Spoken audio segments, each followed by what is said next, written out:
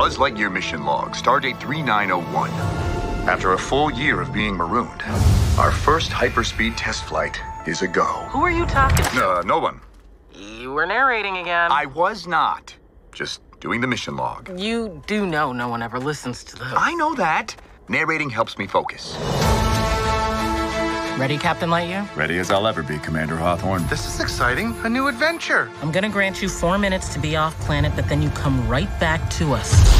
To infinity and beyond. You are clear for hyperlaunch. Beep boop, beep boop, beep boop.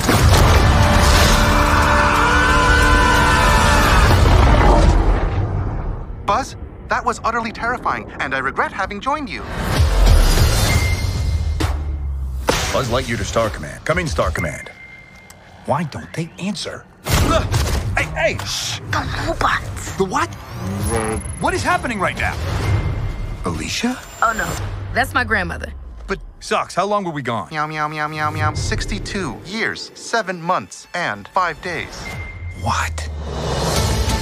I hope you're ready for action, because all we needed was a pilot For what? to destroy the alien ship. I have a plan and I have a team. Darby can take any three things and make them explode.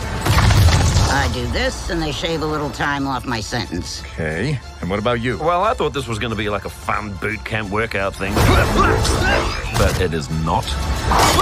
Did I get it? Pretty close. I need the. You know what saying? The harpoons? Buzz! Buzz Lightyear! The probability of survival with an inexperienced crew is 38.2%. Hmm, seems a bit low. Mission failure imminent. In three. Grandma always said she believed in you. Two. One. There was a big swirly dude. Oh, I think I need a bag. No, no. Please record your last words. Do not vomit inside the vehicle. Do not vomit inside the vehicle. If you are satisfied with this recording, speak or select uh. one.